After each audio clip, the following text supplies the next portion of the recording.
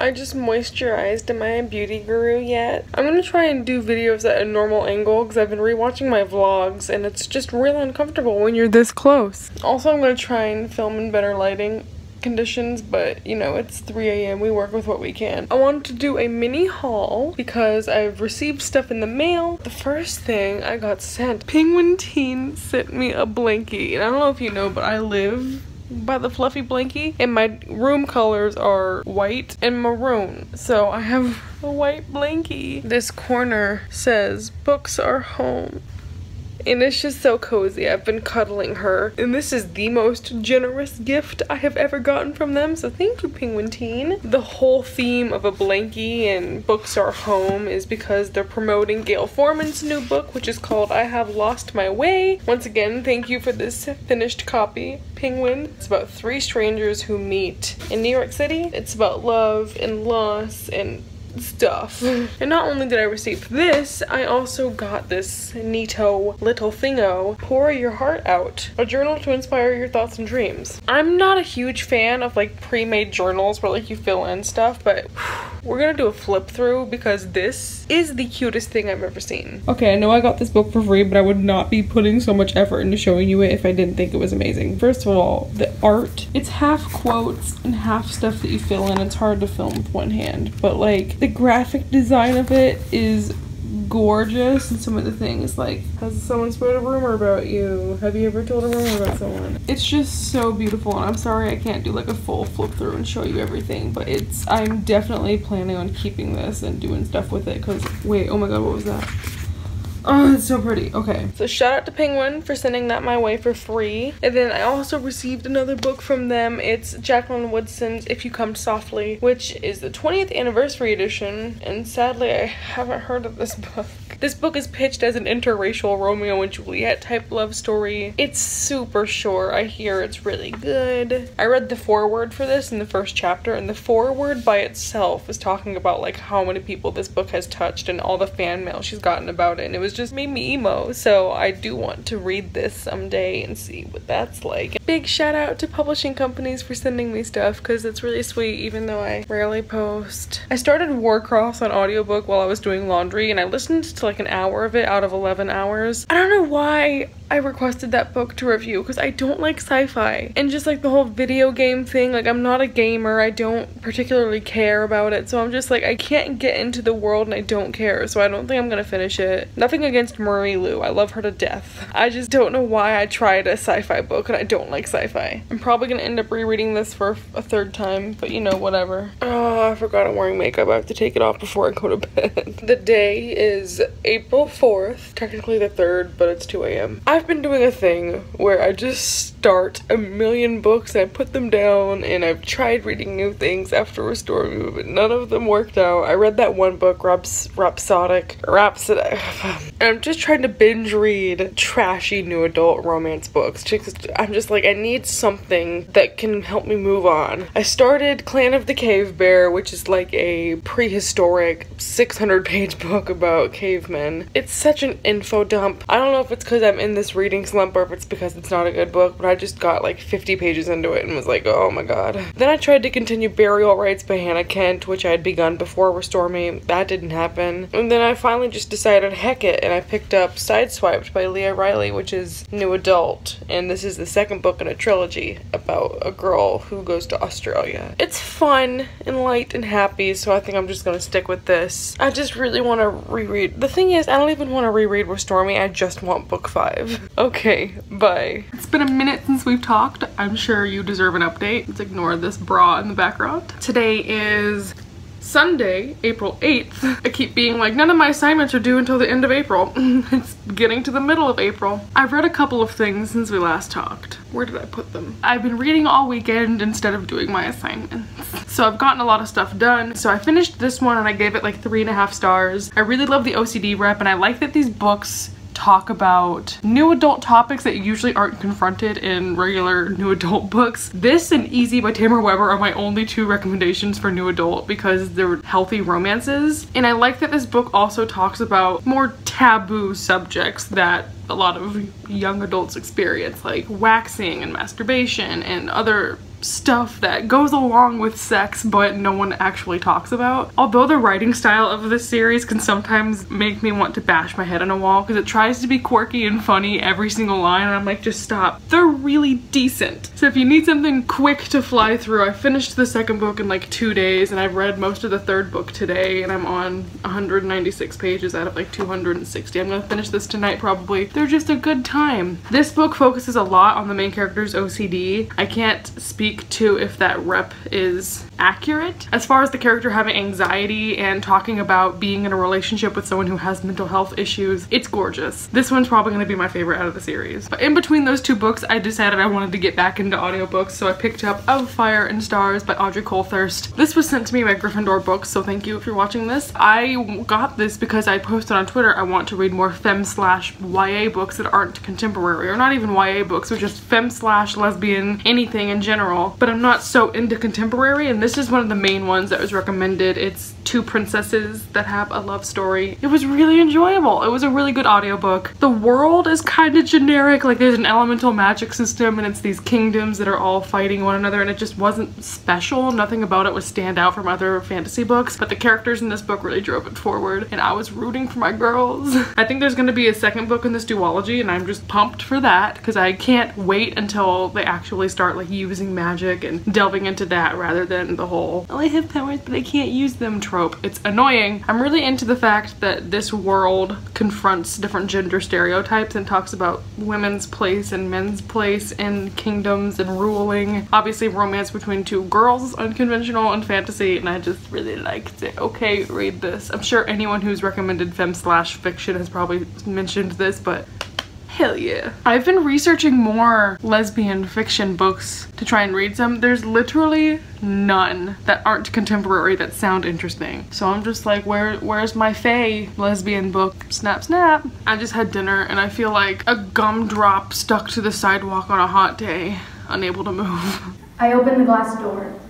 The sun-faded store logo feels like sandpaper on my skin.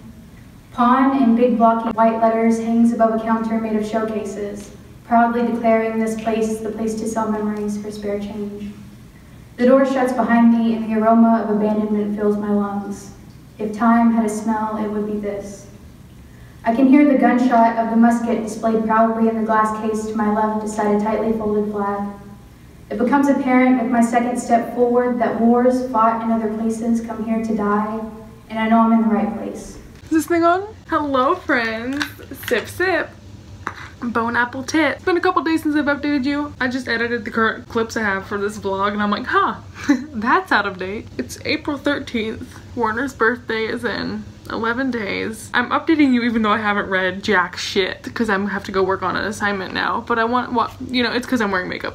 I guess I do have an update for you. I'm currently reading the sec I'm currently reading the second book in the Rhapsodic. Is that how you say it? That's really embarrassing for me. It's gonna be a trilogy, I think, and the third one's not out yet, but I'm reading the second one with Mahana. Did I say your name right? Shout out to Mahana. I'll link her Twitter down below. We read stuff together. She roasts me about it. Basically, the series is like Fae porn. It's like the Lifetime Movie Network version of ACOMAF, except not quite as cheesy. It's a series about a girl who's a siren and she's with her mans who is a like Fae king of the night court. Imagine imagine that. The first book was good, but not like great. Honestly, I'm really liking this book more so than the first one. The first one just made me like feel the cold embrace of death every time I opened it because every page it was just cheesy and lacked depth and description. This one, I can see a lot more of like the characters inner workings. I'll talk about it a lot more when I finish it probably, but I just wanted to update and say it's going pretty well. But I'm just a hot ass mess and so I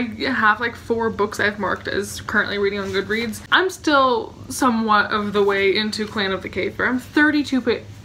Really? I feel like I've read this for hours and I'm only 32 pages into this book. If you've read this, please let me know if it's worth continuing because this hoe is 500 pages, mass market paperback, tiny words. I'm a little bored. I heard there was gonna be porn. I have not gotten to the porn yet and I'm on page 32 so snap snap. I've also mentioned this already in the vlog but it's a book about this Icelandic woman who committed a murder and now they have to keep her in some weird citizen's house before she's executed for who knows what reason. It's gorgeous. It's just dense. And like I said, I have monkey brain right now after Restore Me. I just want to read smut and trash. And this is a little too good for me right now. I don't deserve this quality. And then I started another book that I thought was just gonna be like trashy, easy for me to consume. And it's turning out to be a little above my level at this moment. But I started Vox by Nicholson Baker, which I mentioned in my last book haul vlog. This is a book that's told entirely through a conversation on a phone sex hotline. And it's just this guy and this girl's dialogue with absolutely no inner monologue connected to it or actions. It's just them talking back and forth. I got 26 pages into it out of 160. It's interesting so far. It's not like explicitly disgusting like you'd think it'd be. It only ever mentions sex and like innuendo. I wanted to read this because I was like, oh, it's gonna be trashy. But I think there's a deeper moral to it than that. And that's, we're not here for morals and meaning. We're here for meaningless smut and fae porn. That's gonna be my big mood for like the next two months. So if you wanna hear a lot about me analyzing books and telling you what the best meaningful books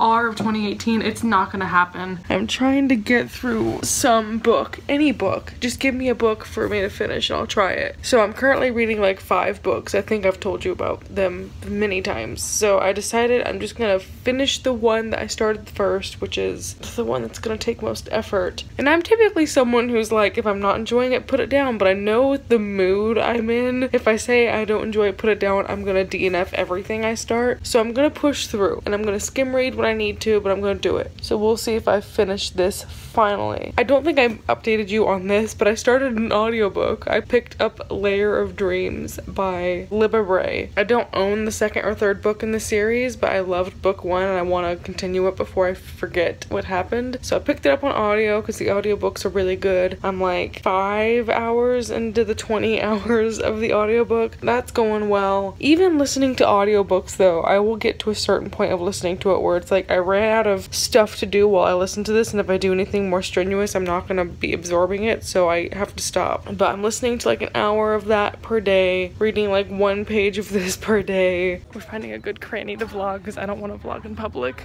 Now I can hold up a camera and not be embarrassed. And our good friend Poe. Yes. How do I gesture? Yes. That's Edgar Allan Poe. And he's even giving a thumbs up. I'm in town for the weekend. I don't think I've updated this vlog in a hot minute. I'm home this weekend. We're at Recycled Books in Denton, Texas. I should probably give you a tour of this when we're done, but I wanted to introduce you to a friend Hi. that I met up with here. Introduce yourself, shout out your own channels. I'm Kim, I don't have a channel. What's your Twitter? What's your Instagram? Uh, Hotel Pastis. Show them what I made you get today. Oh, yes. And what's a Whitty Novels without? Whitty Novels, that's such a book pusher. We just hung out. I got a book. I'll haul this later. I'm so sweaty. I don't want to take it out right now. But we're just having fun at a bookstore. I wanted you to introduce you to my friend. One friend. got it. You fit such the aesthetic. You have the mug, the books, the glasses, the sweater.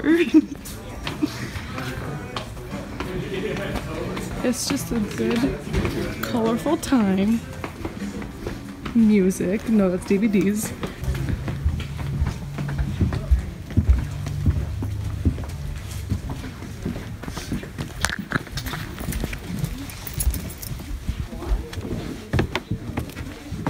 I climbed this staircase three times, to, twice, three times. Wow. What's up? it's just so cool. There's little nooks and crannies and expensive books. Oh wait, I want to read that.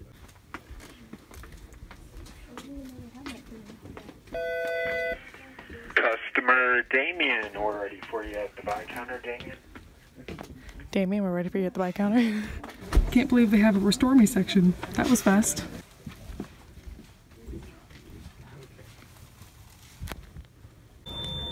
Oh my god, it's for us. It's for tall people. You can't really tell how tall we are though. Oh true, we need like a normal person. to stand beside us or stand under there to see how close we are to the actual sun. All I do is sit and sigh, oh Lord, that last long day she said goodbye. Well, Lord, I thought I would cry. She'll do me, she'll do you, she's got the kind of loving. Lord, I love to hear when she calls me sweet daddy. Such a beautiful dream. You don't have to unfollow me. I already unfollowed myself.